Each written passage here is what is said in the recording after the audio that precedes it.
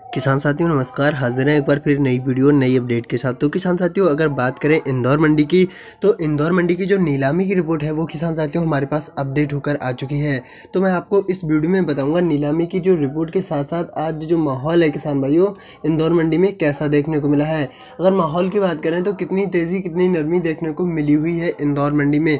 तो किसान साथियों, अगर ऑल ओवर मंडी की बात करें तो स्थिति के बारे में बात करें, जो नीलामी की रिपोर्ट में कितनी तेज़ी, कितनी मंदी देखने को मिली है तो सारी जानकारी सारी अपडेट के साथ मैं आपको इस वीडियो में फुल जानकारी बताऊँगा। चलिए किसान साथियों, वीडियो को शुरू करते हैं। उससे पहले अनुरोध है आपसे, अगर आपने हमारे ही चैनल को अभी तक सब्सक्राइब नहीं किया है तो चैनल को जल्दी से सब्सक्राइब करें और बेल आइकन को प्रेस कर दें, ताकि जब भी हम कोई भी वीडियो अपलोड करेंगे, उसका नोटिफिकेशन आपके पास ज़रूर पहुँचेगा। तो चलिए दोस्तों, वीडियो को शुरू करते हैं। अब मैं आपको इस वीडियो में सारी जानकारी सटीक से बताऊँगा कि इंदौर मंडी का जो माहौल है, वो कैसा है। और किसान साथियों, अगर लॉकडाउन की बात करें तो लॉकडाउन अभी इंदौर मंडी में नहीं लगा है। हालाँकि कुछ जो छोटी छोटी मंडियाँ हैं, उनमें लॉकडाउन लग चुका है, लेकिन इंदौर मंडी एक बड़ी मंडी है।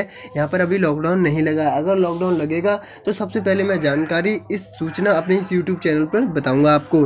तो चलिए, अगर भाव की बात करें तो किसान साथियों, एक दो लॉट ग्यारह सौ रुपये तक के भाव में देखने को मिली हुई है।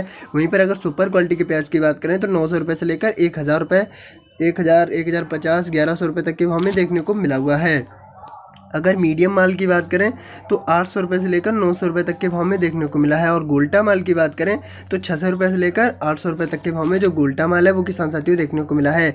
वहीं पर अगर गोल्टी माल की बात करें तो जो गोल्टी माल है, छोटा छठन माल है, वो दो सौ रुपये से लेकर पाँच सौ रुपये तक के भाव में किसान साथियों ऑल ओवर मंडी में देखने को मिला हुआ है।